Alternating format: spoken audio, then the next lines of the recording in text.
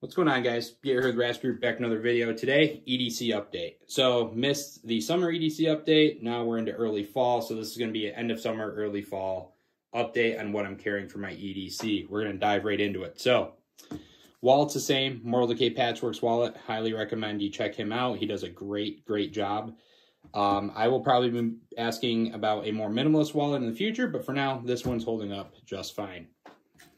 Still using the uh, Gray Freighter Gear Hush Rig for my spare magazine when I choose to carry one. I've actually been experimenting quite a bit with the uh, sidecar style of a standalone holster coupled with this. I'm a huge fan. Uh, I can angle it slightly depending on where I want it to go. I can space it out. Really, really like that. I think I'll continue to use this for quite some time. Watch is the same. Garmin Instinct except I'm now using a Urban Armor Gear, I believe synthetic leather watch strap. Might be real leather, I would doubt it, but uh, it doesn't irritate my skin as much as the rubber neoprene, whatever watch band that comes with the Garmin Instinct is. So I am a big fan of that. Now, for some of the stuff that is new since our last update video, I am using this Benchmade folder instead of the Kershaw now. This was given to me by a friend, Donnie down in Georgia right before the Atlanta Range Day event. And I've been carrying it ever since. He had told me that it had been around the world. And I don't know why, but has some sort of sentimental value to me because it came from a, a good guy and a good friend. So continue to carry that. Uh, other stabby thing, this came from another buddy. This is a spike for my buddy Garrett Burton. Over on Instagram, I believe his name is Pews and Views. He's an excellent photographer. Um, Really like this because of the simplicity. It is literally just a spike. It is rather sharp.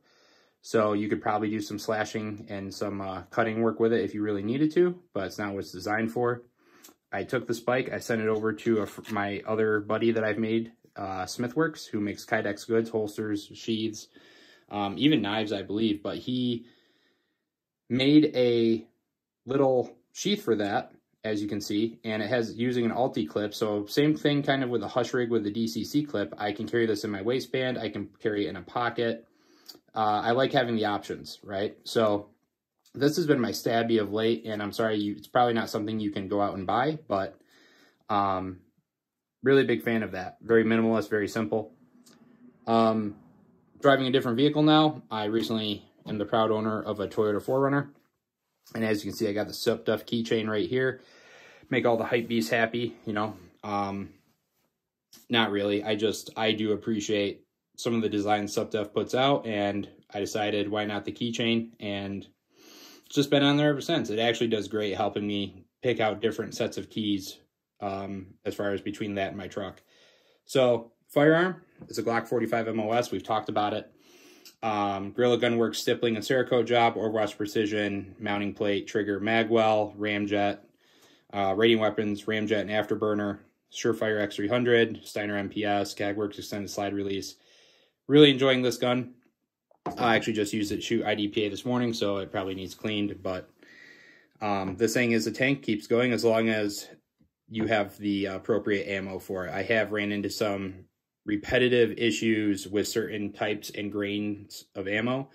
Uh, we'll talk about that when I do kind of a more in-depth review, and I think it's in relation to the comp. But holster is an Apocalypse Holsters standalone.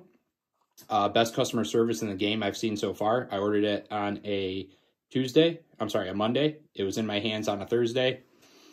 Uh, pricing is great. I believe around the $80 mark.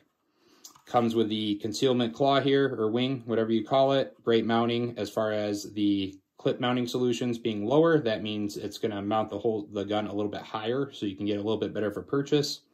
You have the option to switch that up, obviously, with the different mounting holes. And if you want more concealment, you can always find a solution for that. But really, really happy with that holster across the board.